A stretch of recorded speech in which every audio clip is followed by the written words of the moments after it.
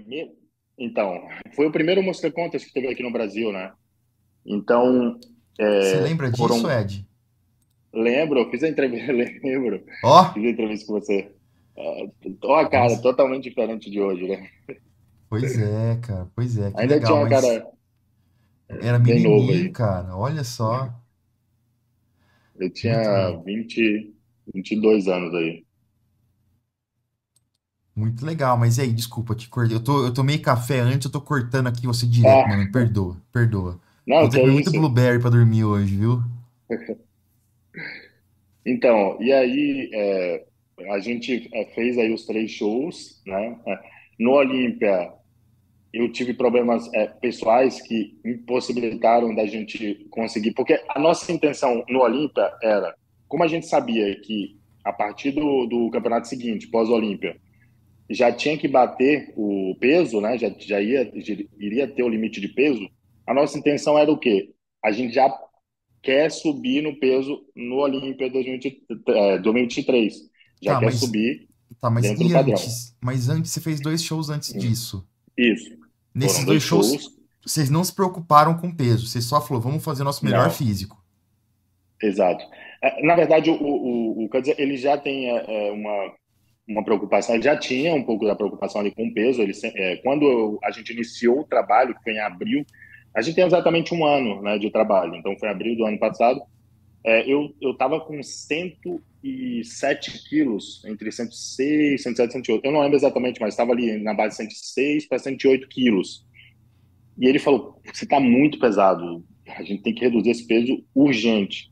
Uhum. E aí a gente começou um trabalho dessa forma, já pensando em reduzir ah, o peso, até porque ele já, ele já tinha em mente de que é, ele, ele já acompanhava, ele via que eu tinha um volume muito grande para a categoria, já mesmo sem o limite de peso, já estava tendo aquela discrepância ali em competições. Então, ele já se preocupou com isso já do início. Só que, como a gente foi, o físico foi respondendo muito bem durante a preparação, e eu tenho uma dificuldade muito grande em baixar o peso. Por quê? Eu, é, ao longo do, dos anos, eu adquiri uma densidade boa, né? Assim, para o, para o meu físico. Porque eu gosto de treinar com a intensidade alta sempre até o final da preparação. Então, eu utilizo as cargas, eu tento sempre manter as cargas um pouco mais elevadas, mesmo em final de, de preparação, justamente para manter essa densidade do físico, e isso faz com que dificulte um pouco a descida do peso. Então, a, a Uhum. gente estava perdendo gordura e, e, ao mesmo tempo, eu estava crescendo, eu estava ficando maior. Então, ele sempre falava isso, falava, pô, você está ficando mais condicionado, mais seco, mas você está ficando maior. Porque o físico vai se moldando, né? Então, quanto mais seco, quanto mais densidade você tem, mesmo com, com, é, é, com um percentual de gordura mais baixo, você vai aparentar ser maior. Então, a gente subiu no, no Sasquatch, o primeiro campeonato, é, com, eu, eu, eu subi com 99 quilos. Foi 99 quilos. E, e assim, eu subi com uma condição muito boa, foi essa, essa competição. É, inclusive, assim, estava muito cheio. Para você ter uma noção, no back, ele, ele me acompanhou nessa competição, ele estava lá. E no backstage, ele falou para mim: é, não aquece. Ele viu meu Hum. físico, ele pediu para analisar o físico e falou: ó, você não pode aquecer. Justamente por isso, porque ele já sabia que eu já estava com volume ali um pouco elevado para a categoria e tal. E aí ele, ele virou ali, olhou ao redor e pegou um, um bastão. Eu não sei o nome daquilo, talvez você saiba. É um bastão tem uma Hum. mola no meio e você faz o movimento de isometria ali para peitoral. Eu não sei o nome Não, daquilo. não sei o nome daquilo também, cara. Ele Mas é incrível, acho que ninguém é, sabe. acho que é dildo. Caramba, eu tava É, pesquisando para saber qual é o nome disso, para, que é. sei lá, comprar um para mim para levar para quando você for lá, você pede na loja um desse. Lá Então, no- em Las Vegas esse ano. exato. Aí ele, ele, ele me deu esse bastão e falou: ó, só faz isso. Que é o movimento de isometria só para peito. Não pede, tá? Pelo Então, amor de Deus. Tô zoando. oi?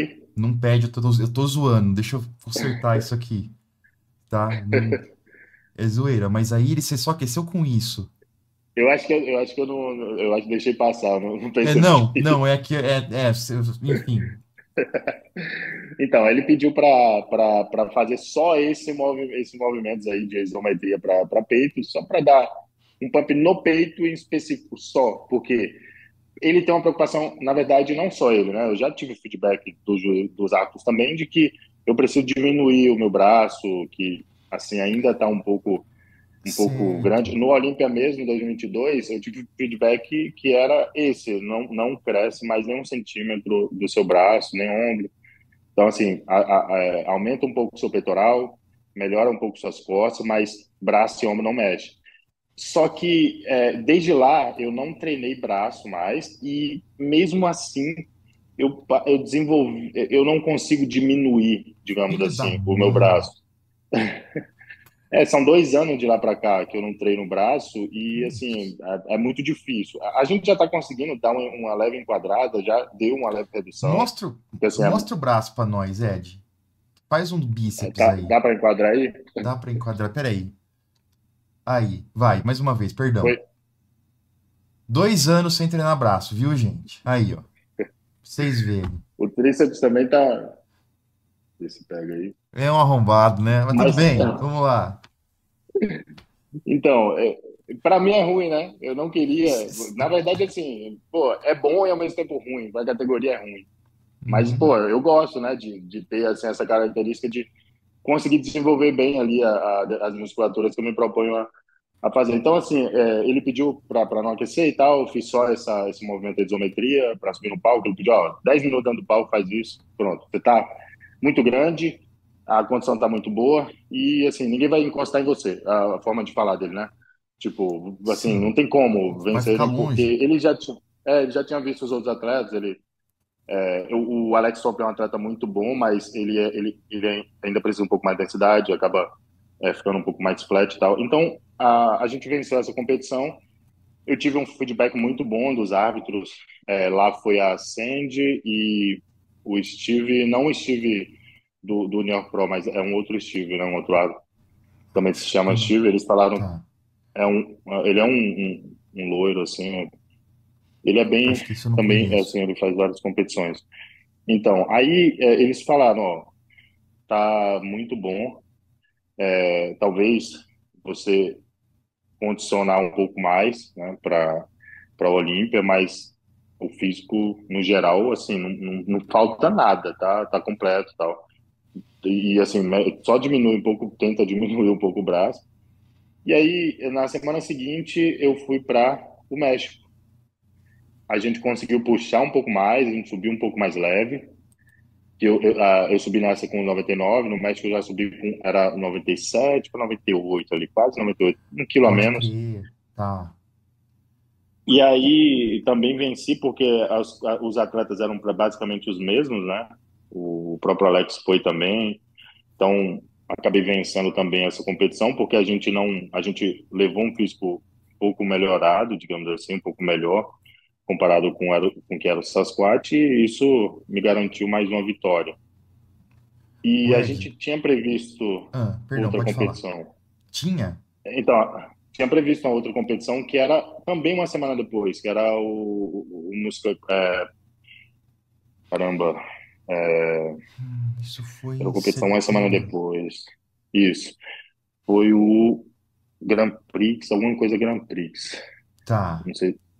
É, era um campeonato até do, do é, o promotor era o, Tam, é o Tamer, né, da Música Contas também. E, ah. e eu, o que aconteceu foi, ele, é, eu adoeci, né, é, entre o Sasquatch e o México. Então, no México, eu já subi gripado. Eu, tava, eu fiquei muito ruim, ah. faltando quatro dias para competir no México. Então, assim, eu fiquei muito gripado. Eu, os meus treinos já não, eu já não conseguia render bem nos treinos porque é, eu, eu sentia muito cansado pela gripe. Eu acho que assim a mudança, né? Porque a, a gente viajou logo em seguida, competiu nos Estados Unidos, viajou em seguida para o México. Então lá tá. eu devo ter pego um vírus ali e tal. Fiquei muito mal, muito mal mesmo, assim. E o Cut se preocupou muito com isso. Então, estava é, previsto a gente competir é, nessa outra competição também nos Estados Unidos. E é, ele acabou falando, ó, eu acho que você não deveria, eu acho que assim, é, a gente já venceu duas competições, você adoeceu para o México, eu fiquei, inclusive a gente ficou preocupado em não chegar no melhor ali. Então, eu acho que é arriscar muito você ir nessa outra competição.